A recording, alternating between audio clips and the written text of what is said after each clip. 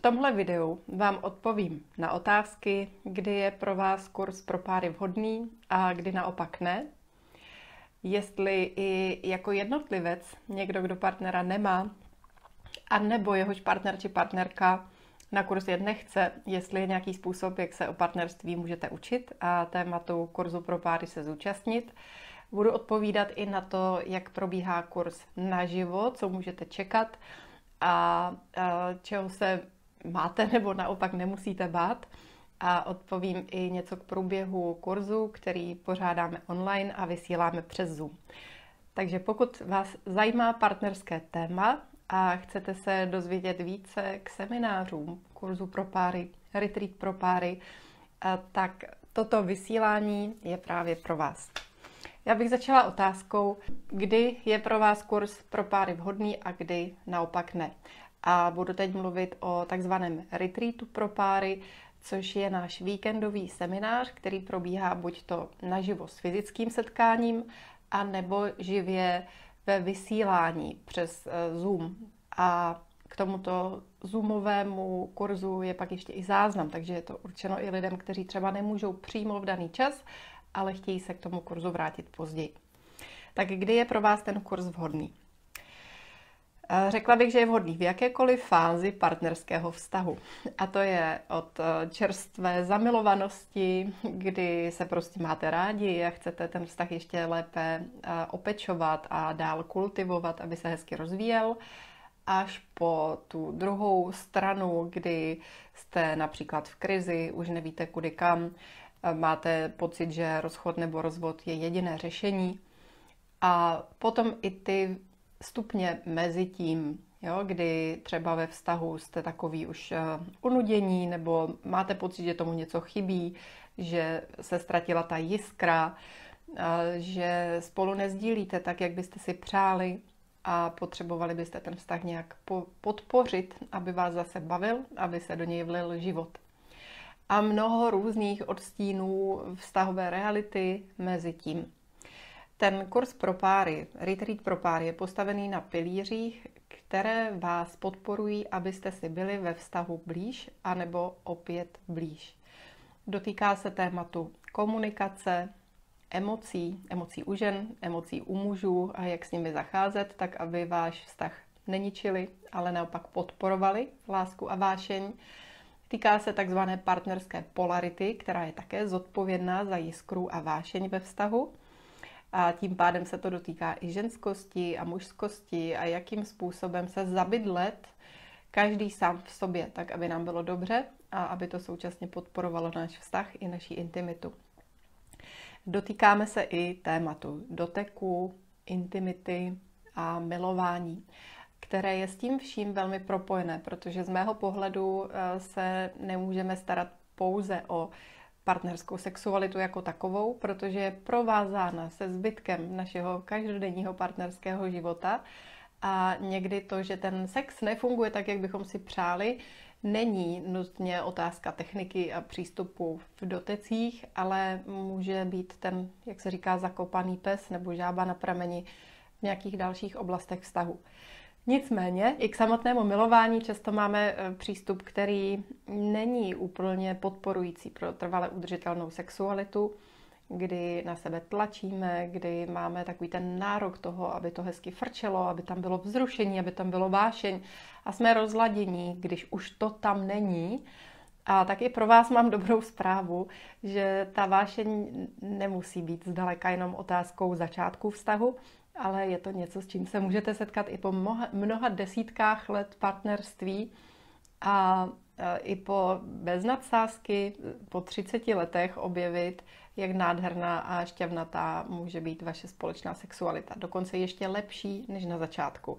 A to nejsou moje slova, to jsou slova mnoha párů, ze kterých, z jejichž úst jsem tento výrok slyšela. Právě i po tak dlouhé době soužití. To znamená, že vy můžete opravdu hodně získat ve vztahu, i když máte třeba pocit, že jste v období, kdy už jste takový odcizení nebo rozhádaní a vlastně nevíte kudy kam. Nicméně, pokud je ve vás takový ten pocit, jo, je to teď blbý, ale prostě cítím, že já s tím člověkem chci být, akorát nevím jak, tak je to dobrá chvíle zkusit retreat pro páry.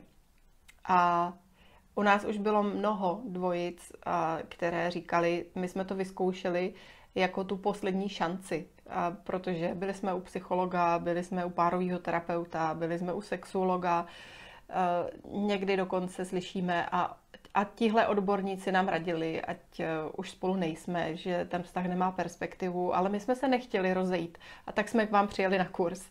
A pokud v sobě prostě máte tenhle vnitřní hlas, který říká, hele, sice nevím, jak to udělat, ale my chceme být spolu, já chci být v tom vztahu, nebo nechci dokonce rozbíjet rodinu, často to už není jenom o vás dvou, ale i o vašich dětech, tak bych určitě řekla, zkuste to.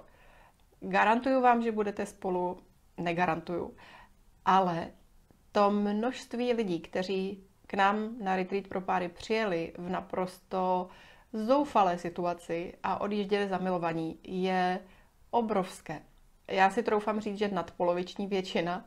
A když bych měla hodit nějakou soukromou statistiku, tak bych řekla, že tak 80% párů po tom víkendu je značně povzbuzeno, co se týká jejich partnerství. Najednou je tam opět cit, je tam láska, je tam vášeň, něco se jako posune na té škále od uh, bodu mrazu nebo dokonce mínusu výš. Pro uh, další část uh, tahle změna přetrvává spontánně v následujících dnech a týdnech. A pro menší část tenhle víkendový impuls stačí, aby oni, aniž by měli pocit nějakého výrazného úsilí, tenhle stav, byť v trochu slabší verzi, už tam není jako takový obrovský nadšení, ale je tam pořád jako hodně lásky, hodně vášně, aby jim to vydrželo i dlouhodobě, na roky. S tím, že bych řekla, že pro většinu je důležité, že ten víkend je takovým impulzem, on ukáže, jak hezky se spolu zase můžete cítit, ukáže vám třeba i hloubku citu, která je mezi váma, ukáže vám, kde vznikala neporozumění a jak s tím zacházet. Dostanete do ruky nástroje, dostanete do ruky návody, co dělat, když má muž emoce, když má žena emoce, když vám vychladl sex, když si v něčem nerozumíte, když se hádáte, když spolu nemluvíte. Prostě dostanete spoustu typů, jak o ten vztah pečovat a jak ho dál kultivovat. A současně i takový návod, jak s tím dál zacházet. Protože z mého pohledu, když chceme trvale něco ve svém životě změnit, tak musíme alespoň něco v našem životě, v tom každodenním životě měnit. Že to není o jednorázovém uvědomění, o jednorázovém prožitku. Někdy ano, ale spíš je to menšina případů. A já osobně to vnímám tak, že pro většinu z nás funguje to, že máme nějaký hluboký prožitek, tím se nám otevře brána. Jo? Je to takový, že vy třeba přijedete rozložený, rozhádaný, Některé dvojice nám říkají, my ještě v pátek ráno jsme se tak pohádali, že jsme si říkali, že my na ten kurz nepoj- nepůjdem nebo nepojedem. A a, ale přijeli jsme, jo. Takže řekněme, že tady z toho stavu vy se najednou dostanete do toho jako wow, my se máme rádi, podaří se vám polečit, eh, uzdravit určitý ty témata. No a pak si řeknete a OK, a co budeme dělat dál, jak o ten vztah budeme dál pečovat, tak aby nám to vydrželo, aby se to podpořilo, aby se to spevnilo a aby to bylo ještě krásnější i do budoucna. No a myslím si, že tahle kombinace uh, dělá zázraky doslova. Takže víkend je jako taková inspirace, nakopávač, kdy vám spolu s Richardem Vojíkem a skrz ty cvičení, které děláte, nebo zkušenosti, které děláte, pomůžeme, abyste znovu třeba posítili ten cit, který tam někde už může být jako hrozně schovaný za všechny ty zranění a brnění a podobně. A plus dostanete návod, dostanete uh, do ruky nástroje, jak dál, jak o ten vztah pečovat, jak ho udržovat dál na rovině komunikace, intimity, emocionality, partnerský jiskry a tak dále. Kdy pro vás kurz není vhodný, um, není pro vás vhodný, teď, a teď bych spíš řekla něco k tomu, jak, jak vlastně je to, vy nemusíte být oba nadšení, jo? Nemusíte být oba nadšení z toho, že se jdete účastnit semináře. to nadšení tam být nemusí. Eh, často to bývá i tak, že ten jeden partner chce a ten druhý si říká, nějaký kurz, to mě nezajímá, co mi kdo bude říkat. Ale pokud je aspoň trošku ochotný se toho zúčastnit, a, a jak vzniká ta ochota? Někdy ta ochota je, jo, tak já prostě mám toho svého partnera nebo partnerku ráda, tak uh, půjdeme do toho spolu, i když můj postoj je takový vlažnější, no ale co, neublíží mi to. Někdy ta motivace je vyloženě nůž na krk, je to jako, hele, buď to jedem, anebo se rozvádíme. A, uh, tak uh, to jsem slyšela jeden takové lakonické zhodnocení, to je taky reálný příběh, kdy ten muž říkal, no, takže jsem si spočítal, že ten kurz je levnější a jeli jsme na kurz. A tenhle příběh je starý už mnoho let a tahle dvojice eh, pořád je spolu. Ale opravdu byli ve stavu, kdy už nebylo, bylo, měli pocit, nebo ta žena měla pocit, že už jako to takhle dál opravdu nepůjde. Tím chci říct, že nemusí být oba partneři úplně nadšení z toho, že se budou účastnit kurzu, ale mm, kdybych to nedoporučovala, je pokud si jeden ten partner vyloženě jako Někdy je to v souvislosti s nevěrou. Jo? Když ten jeden partner má někoho jiného a vlastně jako si není úplně jistý, co chce. Může to být nevěra, kterou máte za sebou. Může to být nevěra, která mezi váma způsobila bolest, rány, ztrátu důvěry a tak dále a vy ten vztah chcete opečovat, chcete se znovu stmelit, chcete se znovu zblížit, chcete zahojit eh, ty rány, které vznikly z té ztráty důvěry a tak dále, tak pak je to velmi vhodný, protože vám to s tím opravdu pomůže. A kdy to není vhodný v případě nevěry je, pokud ten partner, který je nevěrný, eh, je tak jako na váškách, že říká, jo, já jako vlastně nevím, jestli vůbec v tom vztahu chci být. A no skoro bych řekla, uh, na vážkách možná ještě není to úplně špatný, ale ve chvíli, kdy ten partner, který už si třeba našel někoho jiného, je v podstatě vnitřně rozhodnutý, jenom si to jako bojí třeba přiznat, jo, ale říká si, hm, já už jako chci v tom vztahu nebejt, já už chci být eh, tady s tím druhým člověkem a a ještě v tom vztahu nebo manželství jsem teda z nějaký setrvačnosti, nebo protože děti, ale nějak tam jako vnitřně padne to rozhodnutí, že odcházím. A, a pak si myslím, že to nemusí být úplně nejlepší nápad. Ne, že by vám ten retreat pro páry ublížil, on vám vůbec neublíží. On vám může spoustu věcí pomoct ujasnit, může vám ujasnit, že aha, tak tohle jsme dělali špatně, tohle jsme ve vztahu přehlíželi, tohle jsme zanedbali, jo. A, a pomůže vám třeba si i ujasnit, aha, a, no ale prostě nechceme být spolu. A i to má význam, jo. Plus se učíte pro vaše budoucí partnerské vztahy.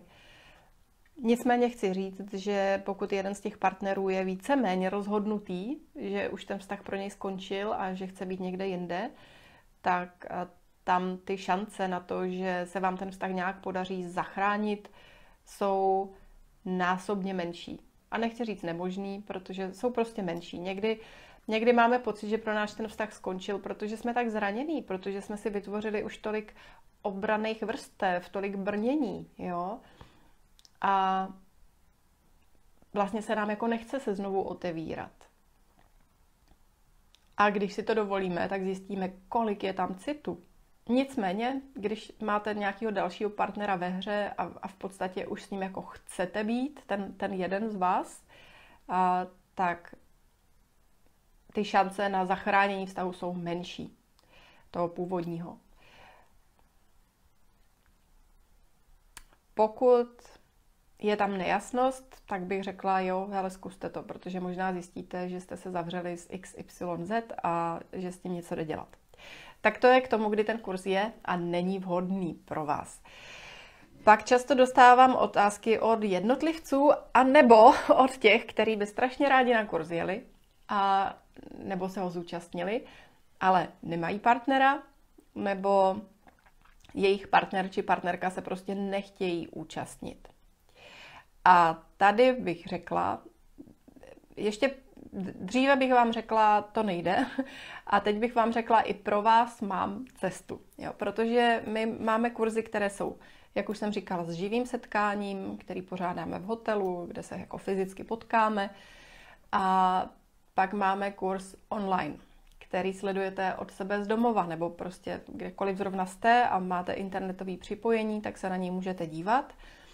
A probíhá podobnou formou, eh, co se týká časování, co se týká obsahu. V podstatě jako absolvujete plnohodnotně ten kurz, který jinak míváme eh, v hotelu. A obsahově je to identický kurz, co se týká cvičení, je to identický kurz s tím rozdílem, že vy nesedíte společně ve skupině s dalšími lidmi, ale jste někde u sebe ve svém soukromém prostoru. A tuhle možnost pochopitelně využívají lidi, kteří z nějakého důvodu nemohou cestovat, nechtějí cestovat, nebo se jim právě třeba nechce i do toho živého setkání. Říkají si, ne, já nechci, prostě další lidi tam budou jako a a ně, někdy tím důvodem je i to, že si přejete mít víc soukromí a že vlastně jako nechcete být vidět. Tady bych teda podotkla, že i co se týká té živé varianty, že někdy lidi mají obavy řeknou si, ježiš, co tam budeme dělat, než bude nějaká terapeutická skupinka, teď tam budeme muset pod, pod, popisovat naše problémy. Ne, v žádném případě. Vy tam můžete přijet a být tam celou dobu úplně anonymně. O tom, co ve vztahu máte jako výzvy, se nikdo nemusí dozvědět vůbec nic, pokud vy nebudete chtít. Prostě to tam sledujete a všechny ty věci prožíváte spolu se sebou. A tím chci říct, že chápu, že spousta lidí si říká, ne, tyjo, to, to jako s čím se potýkáme v tom vztahu, to nechci opravdu s nikým sdílet. a, a nemusíte. Prostě nemusíte. A stejně tam prožijete to, co potřebujete, abyste si byli blíž. A my se nezaměřujeme ani tak na to, že bychom se vrtali v nějakých vašich problémech. My se zaměřujeme na to, co můžete udělat, abyste si byli blíž. Zaměřujeme se na to řešení. Ty zádrhele, ty žáby na prameni, oni přijdou sami od sebe, ale my jim nedáváme velký fokus. My je jako umožníme, dovolíme, abyste je vnímali, abyste je cítili a abyste šli dál skrz to. Jo? My se nezaměřujeme na analýzu toho, co se vám všechno ve vztahu děje špatně, ne, my se zaměříme na to, co můžete udělat, aby vám ve vztahu bylo dobře. A tím pro, problémy nepřehlížíme, akorát jim nevěnujeme eh, takový ten hlavní fokus. A protože víme, že oni se přihlásí sami od sebe a vy zkrátka uděláte nezbytné minimum pro to, abyste se dostali skrz to a dál. Nicméně, když jste na tom online kurzu, když jste připojení přes Zoom, tak vy máte volbu, Eh, že třeba nebudete být vidět ani vůbec, protože vy máte volbu, jestli si eh, u toho vysílání zapnete nebo nezapnete kameru, dokonce si můžete zvolit i tu formu, že si kurz pouštíte až ze záznamu. U toho online retreatu pro páry je záznam po dobu jednoho měsíce. To znamená, že jeden měsíc je vám přístupný obsah toho víkendového semináře, což obsahuje, kolik hodin to je, mm, asi teď nevím, jestli 12 nebo 15 hodin obsahu, takže za následující měsíc vy si to klidně můžete schlédnout ještě jednou, anebo nově, protože občas někdo mm, zkrátka nemůže o víkendu, nebo jeden z partnerů nemá čas. A tak je pro vás i tahle forma, že můžete se k tomu obsahu vracet a projít si to v těch následujících týdnech a prožít si to po svém, už teda mimo rytmus skupiny, ale po svém. I když jste účastní toho živého vysílání, tak máte volbu, jestli uh, si kameru zapnete nebo nezapnete. Uh, já a Richard, který vás tím kurzem provázíme, jsme rádi, když ji máte zapnutou, protože pro nás je to určitá zpětná vazba.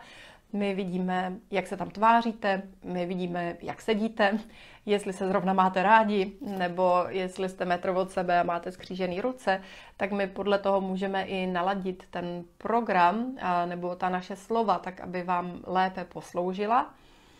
V praxi to bývá tak, že část lidí má kameru zapnutou, část lidí má kameru z různých důvodů vypnutou. Buď to nechtějí být vidět, nebo jsou v situaci, kdy mají doma děti a ty jim tam pobíhají za zády, protože to nešlo udělat jinak, ale něco je lepší než nic. A, takže tady v tom máte svobodnou volbu, jak vy budete chtít. No a ve výsledku ten online retreat pro páry může být i forma pro jednotlivce, jak se kurzu zúčastnit. S tím, že chci upozornit, že to je kurz partnerský. To znamená, že se týká partnerských témat a obsahuje řadu partnerských cvičení. Pokud vy si řeknete jako jednotlivec, mě ten kurz zajímá a chci být na něm, počítejte s tím, že tam je řada chvil, kdy mi řekneme tak a teď s partnerem udělejte tohle. Popovídejte si takhle, dotkněte se tak a tak a tak. Tak eh, chci, abyste věděli, že vy prostě víte OK, tak eh, tahle cvičení si nechám někdy na později, až s tím partnerem budu, a nebo s tou partnerkou.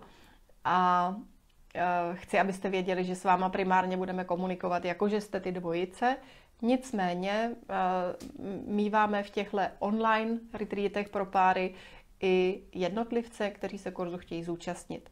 Ať už je tam ten člověk sám, protože partner zrovna nemůže nebo nechce, anebo protože žádného partnera či partnerku v životě nemají, ale stejně si to chtějí nastudovat. Jo? Tak i tohle je potom cesta, jak byste se tomu mohli přiblížit. S tím, že v daných případech bych eh, určitě mohla doporučit i kurz tajemství šťastného vztahu, který má jiný formát, není postavený na živém vysílání, ale na eh, předem natočených videích, které se týkají podobných témat. Emoce, komunikace, intimita. Je tam velmi uh, hluboká, řekla bych ještě rozšířená ta část programu, která se týká partnerské intimity. A ke kurzu Tajemství šťastného vztahu, uh, který jsem natáčela sama, bez Richarda Vojíka, takže jsem tam sama jako ženská průvodkyně, nejsme tam jako žena a muž, kteří kurzem provází, jsem tam já sama za sebe. A k tomuto kurzu pak máte za přístup na tři roky, takže máte jako výrazně delší dobu, kdy se k tomu obsahu můžete vracet. A není to postavené na tom živém vysílání a případně není tam ta možnost té živé interakce, kdy třeba během programu se nás někdo na něco zeptá, my na to rovnou reagujeme, ale mm, je to zase jinak postavené, dostanete se k tomu obsahu, který potřebujete, je to vhodné i pro jednotlivce, kteří se o vztazích chtějí učit a zajímá je prostě ten obsah, jak se dělá vztah, který je krásný, láskyplný, vášnivý dlouhodobě. Tak já myslím, že tím jsem zodpověděla asi většinu otázek, které dostávám mm, a které se týkají právě některých těch myšlenek. Je to pro mě vhodné, není to vhodné, nebudu se muset někde moc jako odhalovat a vyprávět svoje problémy. Když jste na kurzu online, když jste na tom Zoomovém vysílání online retreatu pro páry, tak eh, tam máme hodně interakce. Jo? Ta interakce je jiná a skoro bych řekla, že bývá ještě o něco živější, možná bývá jako chudší o to vizuálno, že prostě nevidíte uh, nebo já a můj spolulektor Richard nevidíme celou tu skupinu, ale vidíme část skupiny a vy vidíte primárně nás jako lektory. Ale ta skupina je hodně interaktivní, protože v průběhu vysílání vy e, nám píšete komentáře a otázky přímo do chatu. A tím bych ze zkušenosti chtěla říct, že k nám jako lektorům se často dostane ještě mnohem větší počet otázek, které někdy na tom živém kurzu se lidé bojí zeptat, protože musíte zvednout ruku, jste vidět, musíte mluvit a tohle pro někoho zkrátka bývá nepohodlné. Zatímco napsat tu svoji zkušenost do chatu nebo otázku do chatu bývá jednodušší a díky tomu já a Richard máme živý kontakt s vámi. My skrz ty vaše komentáře v chatu víme, jak se vám daří, co vás zblížilo, co vás naopak zaseklo, kde jste se zadrhli, s čím potřebujete podpořit. A tak to je taky specifické a svým způsobem tahle komunikace bývá právě ještě bohatší na tom zoomovém vysílání než na živém setkání. Na živém setkání pochopitelně my zase čteme víc eh, z výrazu vaší tváře a vidíme všechny účastníky, kteří jsou na kurzu, vidíme víc té řeči těla a podobně, takže dostáváme informace trošku jiným způsobem. A tak záleží na vašich preferencích a na vašich možnostech eh, cestovat, být někde na semináři naživo, ale víme, že hodně lidí vítá i tu formu z domova, akorát třeba k tomu nemají informace, ne, nevědí, jak si to mají vlastně jako představit a tak jsem k tomu chtěla říct víc slov. Jinak pokud máte ten volný víkend, a to se týká většiny účastníků, kteří jsou na tom online kurzu pro páry, tak si prostě zapínáte Zoom na vašem počítači nebo mobilu v pátek večer, v sobotu dopoledne, v sobotu odpoledne, v neděli dopoledne až do oběda. Mezi tím probíhají různá cvičení.